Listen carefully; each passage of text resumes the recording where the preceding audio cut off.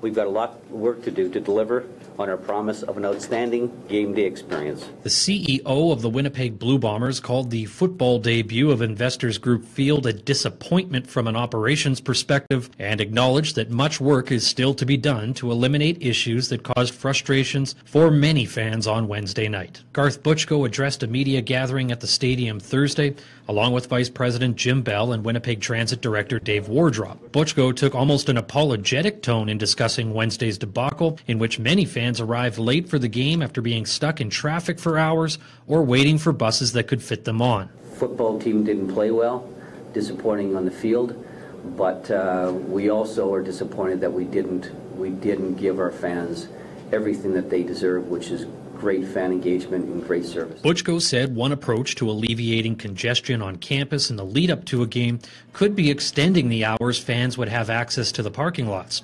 As it stands now, lots don't open to the public until 90 minutes before kickoff.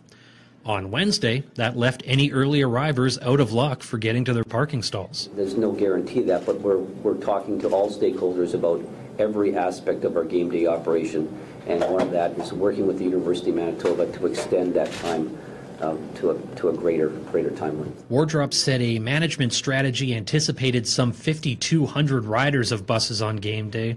Instead, Transit's early estimations pegged that number closer to 8,500. I would encourage uh, folks to, to continue to give it a try. In reality, um, it, it's, it's the only viable way to, to really move people effectively in and out of the stadium in large volumes is, is, a, is an effective public transit system.